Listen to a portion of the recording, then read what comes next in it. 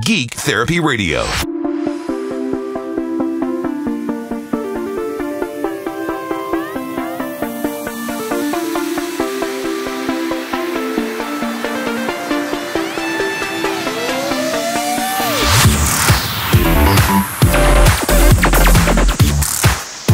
Howdy, partners.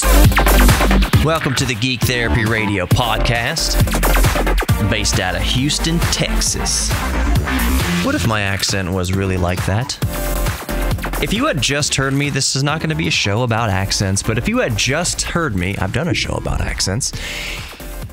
If you had just heard me on the street speaking in my normal speaking voice, which is what you hear more or less on Geek Therapy Radio, I do a little bit more of a broadcastery kind of from the bottom of my diaphragm voice when I do a podcast or a radio show. But if you just heard me on the street, my accent, where would you think I was from? And I actually, now that I think about it, I'm asking kind of a rhetorical question. But if you want to let me know, you know how to get in touch with me geektherapyradio.com. Just go right there, fill out that little contact form, and let me know where you think that I'm from based on my accent.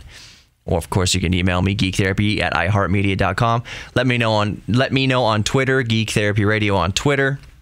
I think actually the technical handle on Twitter is at Geek Therapy KPRC. But if you if you just search for Geek Therapy Radio, look for the red, white, and black color scheme. That's me. But let me know if you just heard me speaking just like this. Hey man, how's it going? My name's Johnny. What uh how you doing? Where would you think I was from?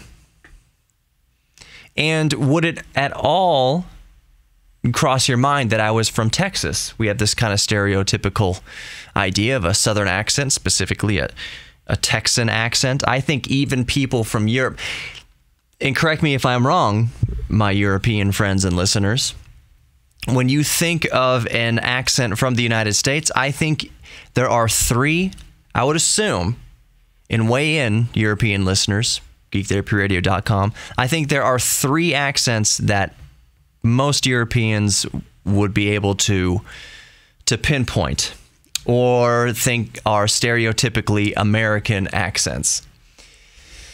One, New York. Hey, how you doing? I'm from New York. Uh, all these accents are accents that you hear on TV, and since American TV is worldwide, and most people what they know about America is from TV, then they're going to hear these very characterized, uh, uh, very extreme accents. So you'll hear the New York accent. One, I think the second accent that is most stereotypical that that a European might uh, that might come to the mind of a European is Texan. Howdy, y'all. I'm from Texas. Rope 'em, ride 'em. Yeehaw! That's a very stereotypical Texan accent. And then you might think the third accent, if those if there is a third, I think New York accent number 1, Texan accent number 2, and the third most stereotyped would be West Coast. Like Valley Girl or surfer dude, you know, totally dude. Want to go surfing, brah? I was just chilling at the farmer's market. Caught some, caught me some gnar cabbage. That was a terrible West Coast accent. terrible. But I think those are the top three. Maybe fourth would be Midwest. Don't you know?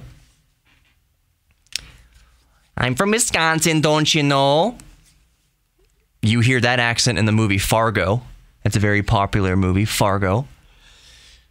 So those top three with a possible fourth New York accent, Texan accent, West Coast accent, and possibly a Midwest accent. Then there'd be a, it would go a little bit further, Boston accent, park the car. Pack the car. Then there's a whole bunch of Southern accents, and that's the same thing. I mean, all I'm getting at is this. This is just where my mind goes at the beginning of, of the podcast here. I am going to talk about some tech, techie kind of neat things here coming up. Uh, I got a new tablet. I want to talk about uh, a DJI drone, a, a, cool update that's that's happened or happening, about to happen. I don't, I'm not sure. Um, but also AMD Ryzen Zen 3 5000 series chip, something in particular about that. But we're talking about accents here right off the bat. There are stereotypical accents, but anybody listening to this from any part of the world, whether you are from the UK and you speak the Queen, the Queen's English, whether you're from Europe and you speak Dutch or French or German or whatever your your native language is, or you're from Japan or the Middle East, you know that there's the stereotypical accent, and don't get me started on what a stereotypical Middle Eastern accent would be that most people would think. But you know, if you're from those regions, that the accents vary wildly. For instance, the, the a Welsh accent, Cockney accent, Irish, Scottish, those are all from the same sort of region of the world mostly, but they are all very distinctive and different. Same thing with American accents. Same thing, uh, you get into microcosms of, of American accents. Around the South, a, a, Florida accent would be different than an Alabama accent, would be different than a Georgia accent. And then you say, let's just pick Georgia. There'd be different accents depending on where you are in Georgia. It's very nuanced. And I would imagine also, if you speak Dutch, there are probably a half a dozen, if not more so, accents in Dutch, depending on whether you're from Holland that that region of Holland. I, I don't know all the regions of, of the Netherlands, but it's it's Holland. There's different. When you think of Holland, technically speaking, Holland isn't all of the Netherlands.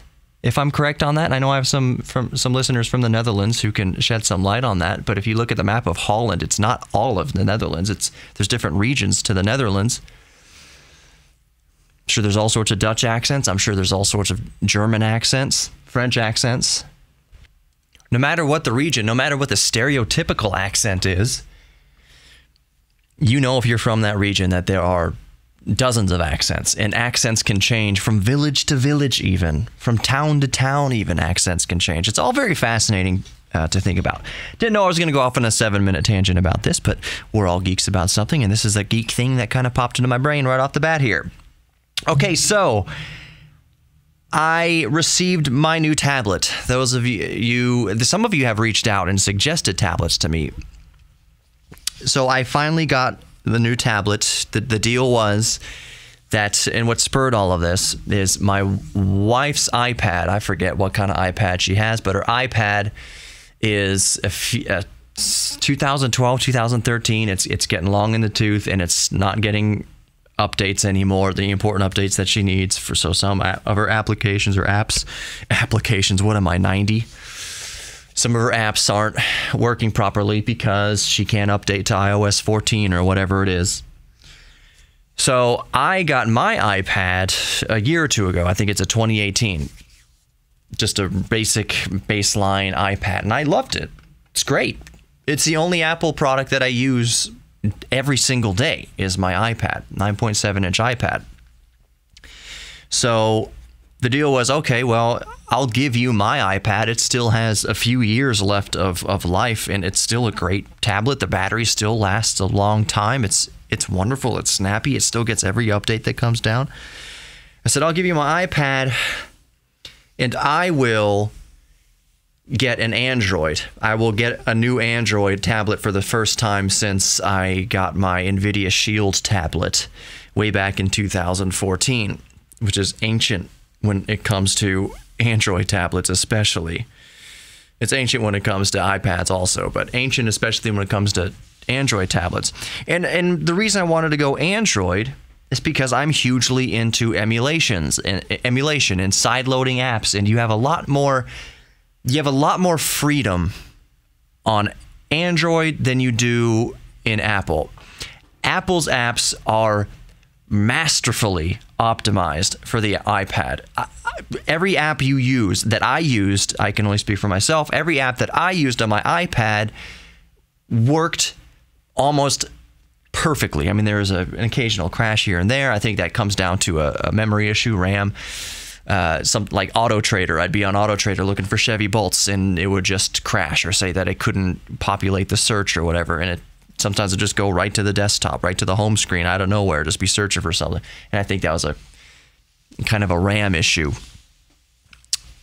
But any by, by and large, using the iPad as a con, as a consumption device Netflix and surfing the web and listening to music. I would listen to podcasts every night when I go to bed through my iPad and a little Bluetooth earpiece. I love the iPad. I'm not giving up the iPad. I'm just giving it to my wife. If I need to use the iPad for something, it's still available. So I said, you know what? It's about time I jump back into a flagship Android tablet. So going to an Android tablet means that while no, the apps aren't as robust and polished as they are for iPad. For instance, uh, uh, there's a lot of um, you know drawing apps and and, and, and apps for creators and, and comic book writers and, and drawers and and painters and, and and whatnot. There's a lot. There's apps for the iPad that are great that work with the Apple Pencil perfectly it feels like it's well thought out, all follow through. You feel like you have all the support in the world behind those apps. Whereas on the Android side, it's not so robust for those types of, of artistic apps. The, the, the Samsung the S Pen is great. I don't use the S Pen all the time. The S Pen is really cool, and there are very cool apps, very cool artistic apps that uh, facilitate that. But it just they doesn't feel as premium and as well thought out as the apps on on the iPad. But the trade-off though is that while a lot of apps don't feel as, as polished and well thought out as as a as it would coming on the uh, on iOS, going on Android, they're still perfectly serviceable, and there are absolutely just stellar applications for the Android. But what you give up in any perceived kind of polish or, or support for well thought out, well supported apps is that you get a lot more freedom with what you can and can't install on an Android. You can use APKs, you can basically install whatever software you want. You don't have to go through all this uh, app signature stuff and you don't have to get it verified by Apple and everything. You can if someone made an APK, if someone made an app for Android, it doesn't have to be verified. It's at your own risk. You can install it. You know, like I said, at your own risk.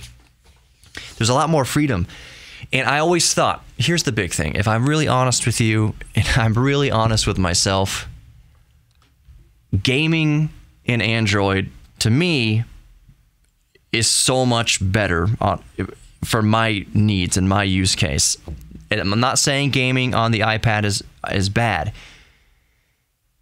You you can do cloud gaming on the iPad. You can do you can link with your Steam account and uh, be playing a game on your iPad with a Bluetooth controller that's running, you know, the game itself is running on your desktop PC up in your bedroom or something like that. So you can be down on your 5 gigahertz Wi Fi and be playing, I don't know, Rocket League on your iPad. You can do that it's not a whole lot of rigmarole, but it's it's some. What I'm getting at is emulation. I always thought that the iPad would be just perfect, just just 100% perfect if it was a lot easier to emulate.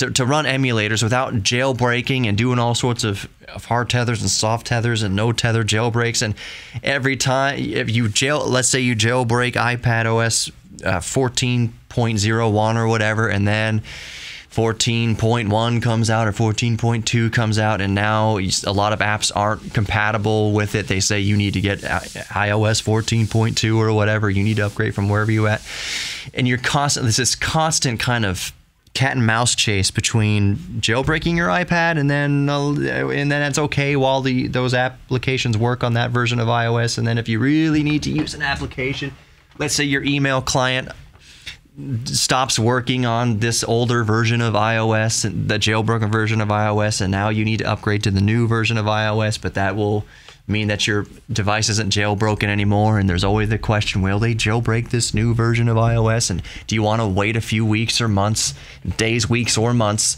for the jailbreak to happen on this new current version of iOS?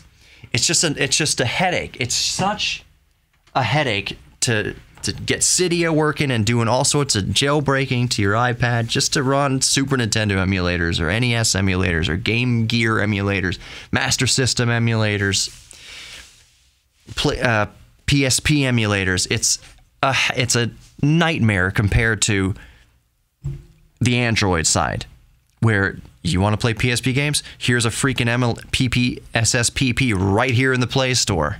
You want to play Super Nintendo games? Here's the freaking emulator right here in the Play Store. It's it's on Google's own, you know, service. Here, just download a Game Boy emulator. You don't need a jailbreak or hack anything. Just download it right from Google Play. You can do it. It's so much easier to run emulators on an Android device. And that's what was really important to my use case scenario. Yes, the iPad is great and I really enjoyed using it and I have no qualms using an iPad, but I really missed having all of my emulators on a tablet. So, the tablet I bought, I actually bought on Prime Day. I bought a Samsung Galaxy Tab S6 not the S7, not the S7 Plus, not an S, older S4, not an S6 Lite. I bought a Samsung Galaxy Tab S6 with a Snapdragon 855, 8 gigs of RAM, and 256 gigabytes of storage, and a whole slew of other things that make this tablet awesome.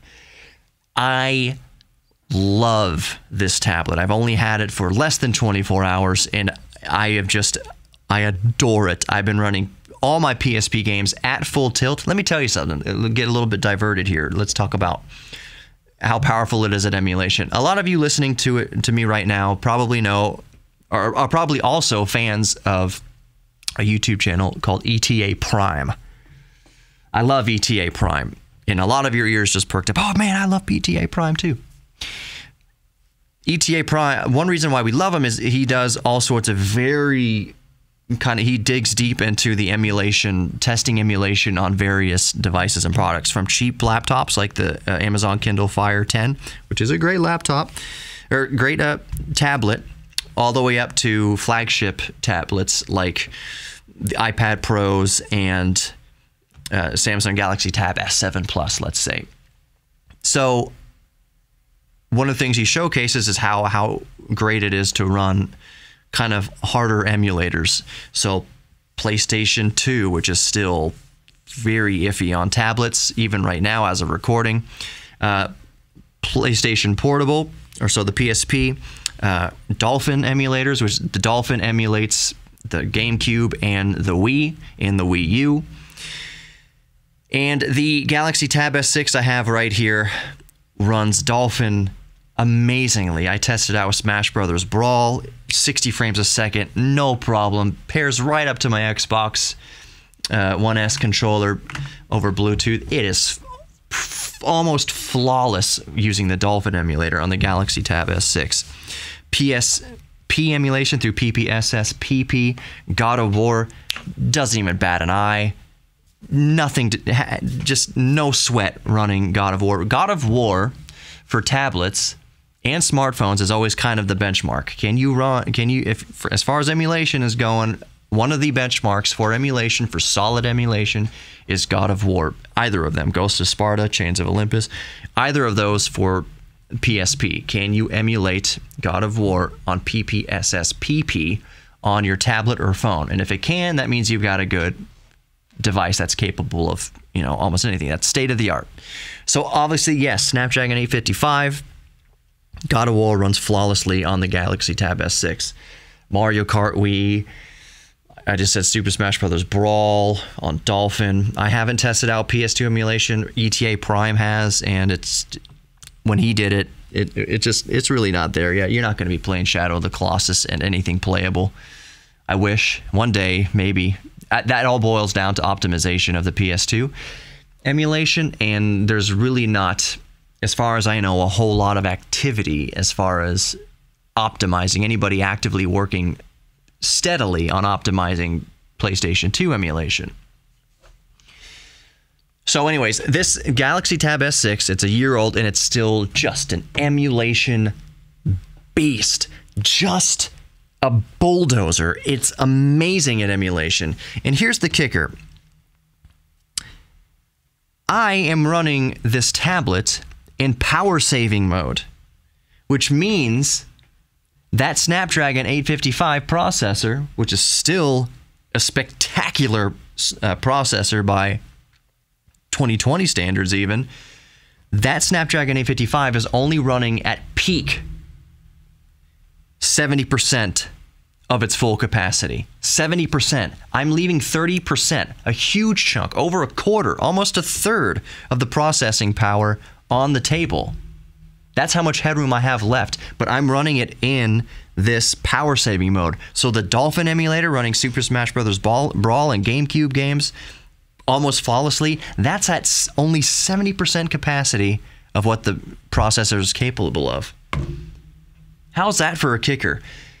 The second kicker, and the biggest reason why I got the Tab S6 now, is that, hey, good timing. The Gal- Gal- Galaxy, the Galaxy Tab S7 just came out, so of course the Tab S6 is going to have price discounts, and it perfectly coincided with Prime Day. A lot of people poo poo on Prime Day, and I, I would admit that I don't really care too much about Amazon Prime Day. Forgot about it, really. But during on Prime Day, the price had been reduced by like $150 from 700 to 550 for the Galaxy Tab S6 8 gigabyte version with 256 gigabytes of RAM. So it was down to $550 plus maybe I just got lucky because it certainly isn't this way now and it certainly wasn't this way even an hour after I or- ordered it. It lets you do that uh, 0% five installment, five payments, you know, five month payment plan. So $550 spread across five months. I'm paying, what is it, like $110, $120 ish a month for five months for this thing. It just made it all the more accessible. It was a perfect time to pick one up. That, if you have an Amazon like credit card or something like that, yeah, you can do these kind of payment plans. I think it's for a lot longer than five months. But every once in a while, to Prime members, sounds like an ad for Amazon. Every once in a while, to Prime members, you'll see an item offered that has the just the five payment installment plan, just for no extra cost. That's usually on Amazon products like that Kindle Fire HD10 and and uh, Alexa's. Sorry if it triggered it. And different kind of Amazon products, but it's very rare. It's rare. More rare, I'll just say, that you'll see that kind of five month payment plan option applied to non Amazon products. So, for whatever reason, I caught this Galaxy Tab S6 in that window of the five month payment plan and I snapped it up instantly.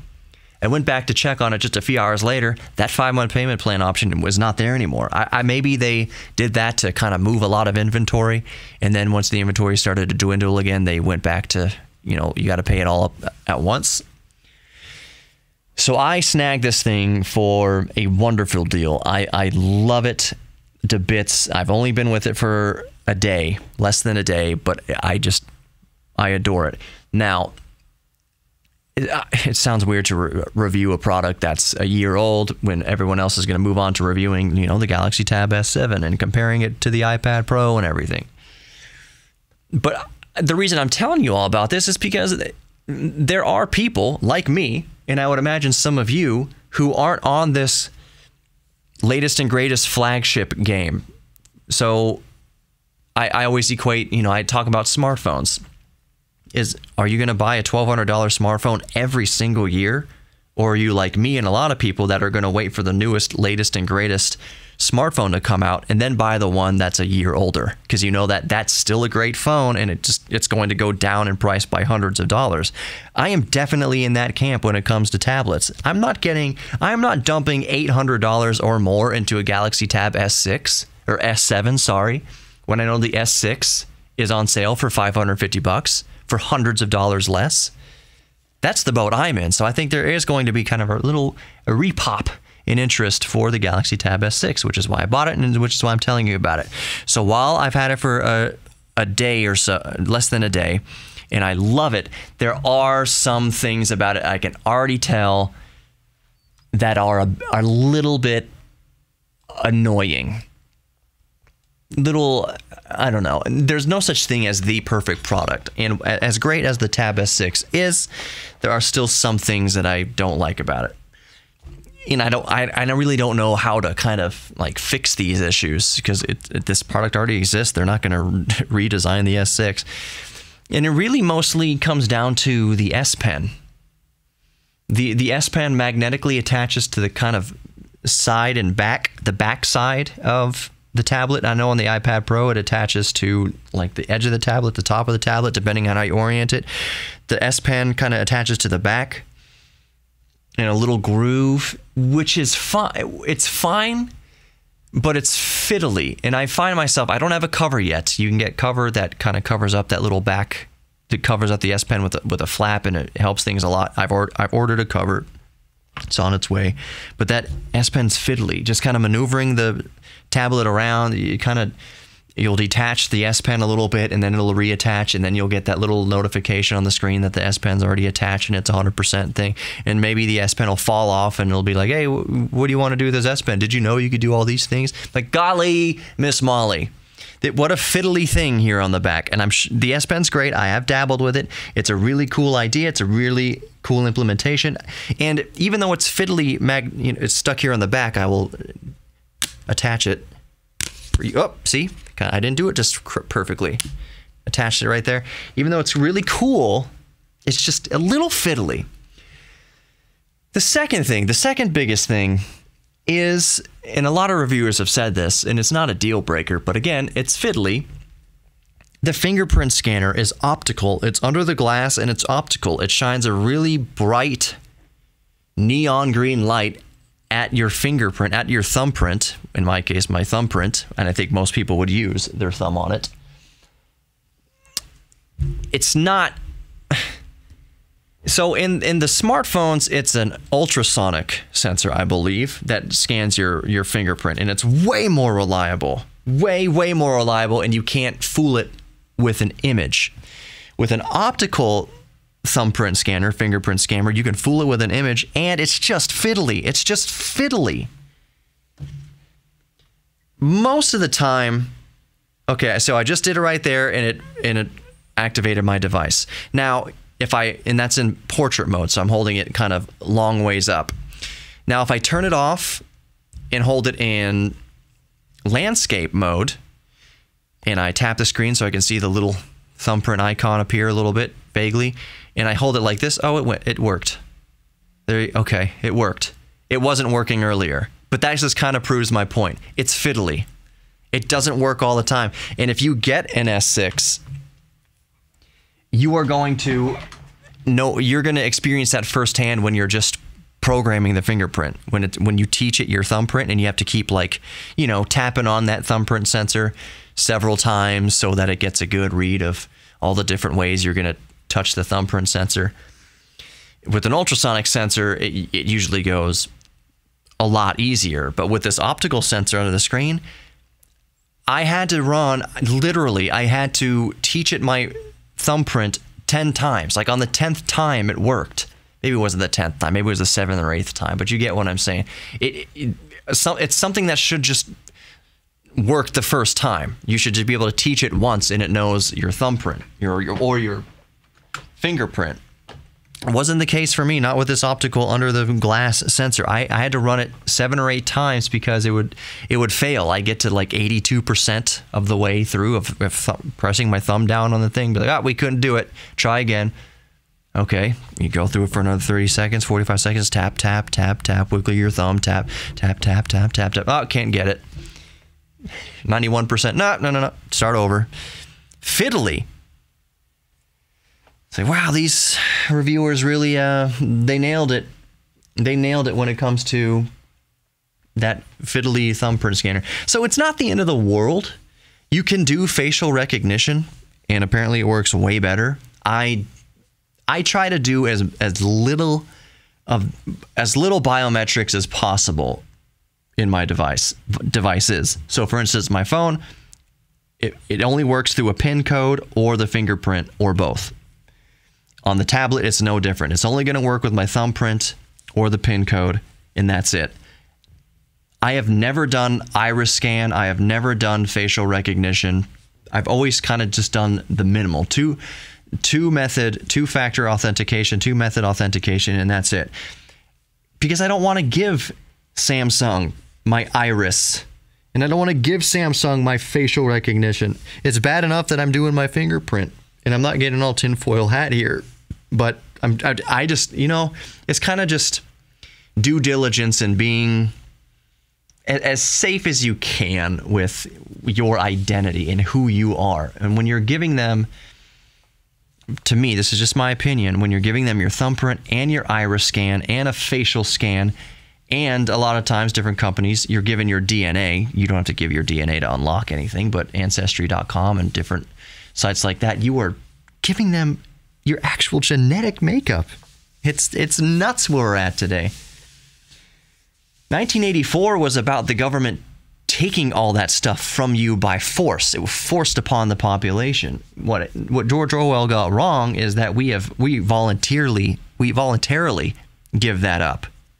We line up around the block to spend $1200 at the Apple store so that we can give so that we have the privilege of giving Apple our thumbprint, our iris scan, our facial recognition, and God knows what else. We pay to give them that stuff. They, Big Brother hasn't taken anything from us. We've they've Big Brother has convinced us has associated an endorphin rush with us volunteering volunteering that information of our own accord because it feels good to us. It's kind of brilliant the way. And I don't think Orwell ever anticipated that we would be chomping at the bit to give that information to Big Brother. The future he foresaw was that Big Brother would take it by force. All right, now I'm going to take off my tinfoil hat and we will move on to the next subject. It's just funny. I'm not saying that if you give your iris or your facial recognition or you've sent off your DNA to places like ancestry.com to figure out your your genetics and your your ancestry, I'm not I don't have uh, anything against other people doing it. I'm not going to say that I'll never do it at some point in the future. I just think it's important that we that we're all on the same page knowing what we're doing. And I've said on I've gone off on Geek Therapy Radio prior in the past, way back when, which is not that long ago for Geek Therapy Radio. I've only been on for about three years. But I've gone off on my tangents about do I think that they're using this data, your thumbprints and iris and all your biometrics for for for evil? Do I think that Amazon and, and Apple and all them are and Zuckerberg and Facebook are collecting all this data from us to perpetrate evil upon us?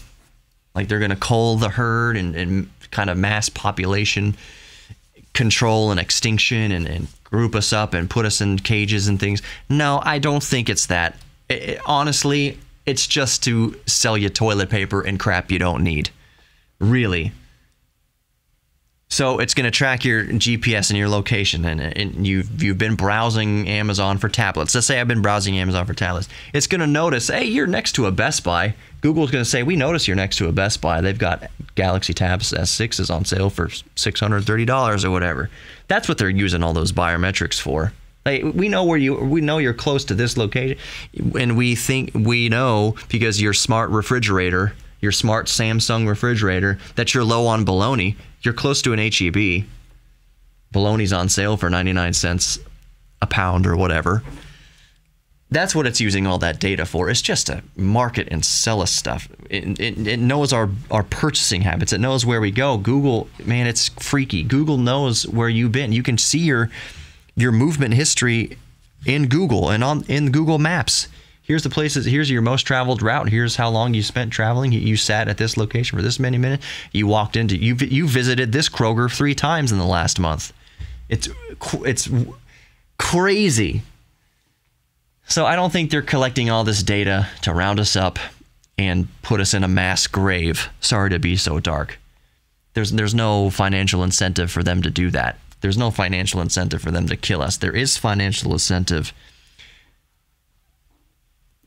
to keep getting our money, trying to convince us and persuade us to spend money at these places in a more optimized way. That they can sell to their advertisers. Hey, user number five four three six five two two iris is this, fingerprint is that. Here's their GPS location. They hear they given their DNA to ancestry da da da based on all their history and their and their DNA and ancestry history. They're prone to high, having high blood cholesterol. And they go by this Walgreens or CVS at this frequency, these times during the week, most likely. So let's send them an ad at this day of the week, at this time, right before work that they need to go get some blood have to get their blood pressure checked or go get some cholesterol medication or visit their doctor that's what they're using it all for. It's just to sell you stuff and, and more optimize you as a product to a seller. Really and it's not evil. It's just to sell you stuff. It's always just to sell you stuff. Okay now really putting the tinfoil hat down I want to talk a little bit more about uh, AMD Ryzen 5000 series processors. I am not an expert, kind of a jack of all trades here, but I'm not an expert on kind of CPU architecture. What I can tell you though is that the 5000 series chips are going to be even more so optimized to higher speeds of, of RAM it's no stretch of the imagination. It's kind of common knowledge that AMD processors and AMD uh, GPUs, like integrated graphics, APUs, and such, are critically tied to the speed of the RAM. When you're sharing video RAM, especially with the system RAM, it, it depends on how fast the system RAM is. So, anyways, I'm not talking about GPUs here. Radeon 5000, not Radeon, AMD Ryzen is so. Let's get all the naming right. AMD Ryzen Zen 3 5000 series processors are even more optimized to fast RAM. And AMD, all I'm getting at here, the big takeaway, the point of all this is that AMD says the sweet spot for 5000 series Ryzen processors is 4000 megahertz DDR4 RAM. 3000 series, the sweet spot according to AMD was 3800 megahertz. The sweet spot for 5000 series processors, so the 5900X, 5950X, and so on, 4000 megahertz RAM, which typically would mean that you'd buy 3600 megahertz RAM or whatever, a high speed RAM, and see if you can overclock it, get the XMP profile going to get it to that 4000 hertz. Now, I will mention here, why is my zoom all wackety doodah here? Oh, there we go. That's good. I'm using my tablet for for these notes. So the relationship, according to AMD, between the Infinity Fabric, the memory controller clock, and the and the memory clock itself is one to one to one. So that makes it for the 5000 series so that DDR4 4000 megahertz RAM is the sweet spot. That's the big takeaway.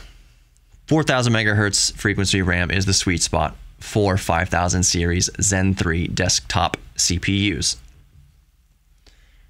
So I would wager and I would implore and I would advise that if you are building a brand new system, I'm saying a brand new system from scratch, and you're jumping on board to AMD with the 5000 series processors, you will do yourself a favor to go ahead and pick up RAM capable of hitting 4000 megahertz. That's the nugget of information you can take away from this. All right, so let's pause real quick. We're about 38 minutes, 39 ish minutes in here. Let's pause for the ad. I just want to say real quick these ads, I don't know what ad you're going to hear. I whatever you hear is not necessarily endorsed by Geek Therapy Radio. So if, if it goes to an ad about a vape shop or I don't know what the heck, I have no idea. Uh, like some sort of uh, d- detention center on the border. I have no freaking idea. Or a political ad. Whatever you're about to hear in these ads, I do not necessarily endorse. So, anyways, let's play the ad now and just get it out of the way. All right, so the last topic to discuss here in Geek Therapy Radio podcast today has to do with drones. And I'm going to talk about a specific product here, but it's the overall concept in general that I find the most fascinating, and hopefully you'll find fascinating too. There's no way I don't have listeners who haven't at least dabbled with drones. When's the last time you've flown your drone? It's fun. I am a drone, I would say, enthusiast a, a bit. I think they're, I think they're really cool. I think they're really cool, and I freaking love my DJI Mavic Pro. It's a first generation Mavic Pro. I adore it. It is an amazing tool. It's not just fun, but it's an amazing tool. And if you watch any of my YouTube videos, I try to break out the drone more and more often now. So I friggin' love my drone. Well, a Chinese website has revealed that a recent update in the DJI Fly app for, oh, what is it? The Mavic Mini that the recent update increases the range by double. It gives you twice the range, at least for the the signal. That doesn't mean you can fly it. You know, it's, it's not increasing battery capacity. That's not battery capacity. That's not what we're talking about here. We're talking about communication range, video range, and and whatnot. How the device talks to the controller, how the device kind of sends the video feed back and forth it's effectively doubled the range. It went up to 2.5 uh, kilometers without loss of the video feed, up from the original 1.5 kilometers. Owners of the Mavic Mini also say that they used to lose connection to the controller around 1.7 kilometers, and now that happens at about twice the, not a little less than twice the range. They now lose control lose communication between the drone and the controller at 2.8 kilometers. So it used to be 1.7 kilometers before the drone would just lose the feed from the controller. Now it's 2.8 kilometers. That's a lot of range that got boosted in an update, in a patch. So with electric cars with EVs, Tesla and Audi and whoever can update the range, the actual like mileage of the car before needing to recharge. They can update that through a software update. They do different. It's it's a software update that kind of more optimizes the power and the battery and the power delivery, so it ekes out a bit more range. We're not really talking about that here with the with the with the uh, drones. We're talking about communication range, radio range. It'd be like if you had an older remote, if you had a remote control car and you can only operate it, you know, 50 feet away from you, and then all of a sudden there's a software update that lets you operate it uh, 200 feet away from you or 100 feet away from you, doubling the range. DJI has not officially announced uh, announced why this is yet. I can't find anywhere where DJI has said, "Oh yeah, here's what we did to extend the the communication range between the drone and the user." So here's what's fun to speculate, and here's what the, here's where the concept, the, the fun of the concept comes in. As of recording right now, just off the cuff, just going with the flow here, I'm thinking that they increased the range in one, if not both of these ways. There's two ways they could have increased the range. They might have done both here. One is that they through a software update they've increased the power the transmission power of both the drone and the controller. That maybe the radio amplifier in the drone and in the controller could go up a little higher could draw a little bit more power therefore give you a stronger signal signal coming from both devices. That would make all the sense in the world. Two you can achieve the same result or a similar result just by changing the frequency at which the drone and the controller communicate with each other. So let's say you are at 2.4 gigahertz and it's technically like 2.41 gigahertz. Now let's say 2.41 gigahertz has become extremely populated with with Wi-Fi routers and cell phones and, and whatever. It's become very populated. That cuts down on the range. There's a lot more interference at 2.41 gigahertz. So in the patch, they could have said, okay, now the drone and the controller operate at 2.4325 gigahertz, a, a, a much clearer band or a much more narrow band even. That's one way you can increase the range. You basically go to an uncluttered frequency. I wonder if DJI has done both. What what I also wonder is is if this is only isolated to China. I don't own a DJI Mavic Mini. I can't not I can't test this. And I don't know whether it's going to come to other drones or not. I don't know when I go to update my Mavic Pro that I'm going to get any extra range. So that that first guess or second guess I made where I meant you know I just said that they just go to a different frequency, a less cluttered frequency with less interference, less crowded. That can increase the range. That entirely depends on region also. So it could just be that whatever the nat, the standard for that those frequencies is in China, that doesn't mean that the same frequencies are used over here. So if you move the frequency between the, the drone and the controller to 2.4, 3.15 gigahertz, and that's fine in China, that's an unpopulated frequency in China. Over here, that might move it directly to the routers that most commercial businesses use. Maybe uh, that that that Belkin or whatever Linksys uses over here. But updates can certainly be regional. They can certainly code into the update, say, okay, North America, we're extending the range. It's not going to be the exact same frequencies that we used in China, but it'll be different. They can easily do that. So it's a very, how did they do this? Rhetorical question to you, the listener. You don't have to email me about this unless you really want to. You have a lot of information to shed on this. Maybe you work for DJI or something how do you think they're increasing the range the range of the drone in correlation to the remote control? Do you think they're boosting the power? That's the easiest way. Or do you think they're moving the, the frequency to a different band? Or do you think number three, they're doing both? They're increasing the power and they're moving it to a less cluttered band. Or do you think they're doing something else completely? But I, I just can't conception I can't think about what they would be doing differently.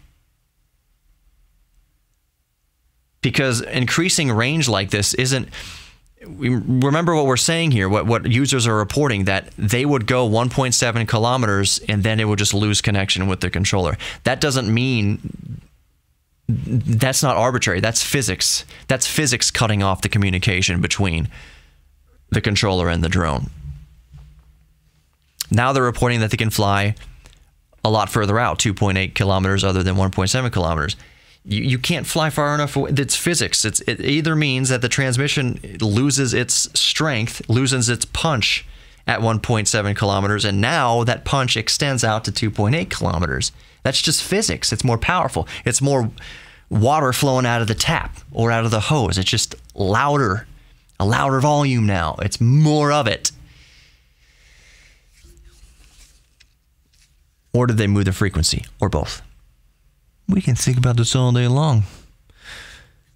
I don't think it was a mistake. Do you think? Could it be a mistake? Oops, we didn't mean to patch that in there. There's a mistake in the patch that upped the amplitude. One way you could test that is if it, they actually upped the amplitude, if they actually upped the power of the transmission between the drone and the controller is that one or the other, if not both devices, would run out of battery faster.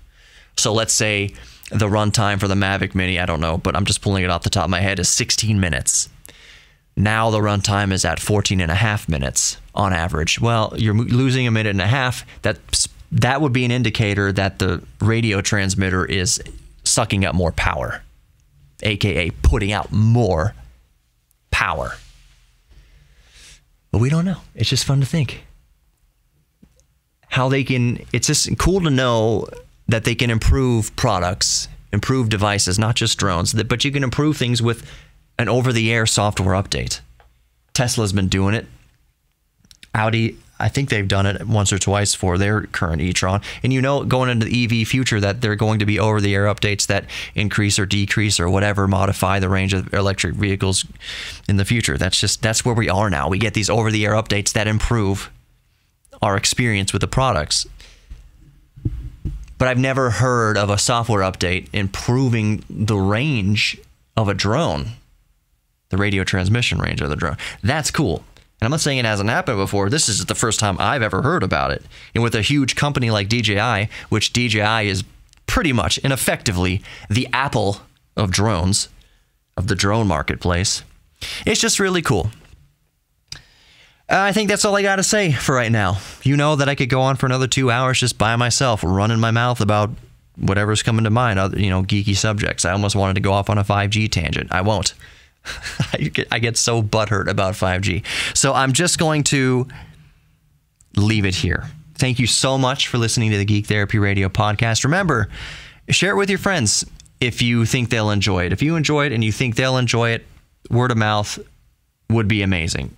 So share Geek Therapy Radio with your friends if you if you're so inclined. That would help out a lot. We are getting down to the wire. My son's going to be born soon. I am very excited to geek out with my little boy. Above all else, if you don't take anything else away from the podcast, from listening to this, if you've been listening for three years and you don't take anything away from this at all. You think I'm a dumbass, you think I'm stupid, whatever. I'm prone to being stupid sometimes. Or if you think this whole thing is great, you think I've been great, whatever I've said, if you forget anything I've said, if you remember anything I say, the one thing I need you to remember and take away from this, please, is to know that you are worthy of love. To know that you are worthy of giving love saying I love you to somebody and you're worthy of them repeating it back to you, I love you. You say, yeah, I, I'm worthy of that. Thank you so much for loving me. It feels it, it, a lot of times we kind of when people say I love you, we think, ah, I, well, I hate myself. There's no way you could love me. I don't love me. You are also worthy of your own self-respect and your own self-confidence. It's okay to love and be loved. Please take that away. I'm not being all hippy dippy and frou frou about this. The world is a cold, hurtful place. There is evil in this world, there's good in this world. The world is not black and white, it's often gray and mundane and tough and joyful. There's all of that. Just know that through all of it, in the pain and in the joy, you are equally deserving of love in, in both parts of your journey through this life, the ups and downs, the constant going through it all is that you are worthy of love. Please remember that. If you don't remember anything else, you are worthy of love, all of its forms. Thank you so much for listening to Geek Therapy Radio Podcast. I will talk to you so soon. Peace.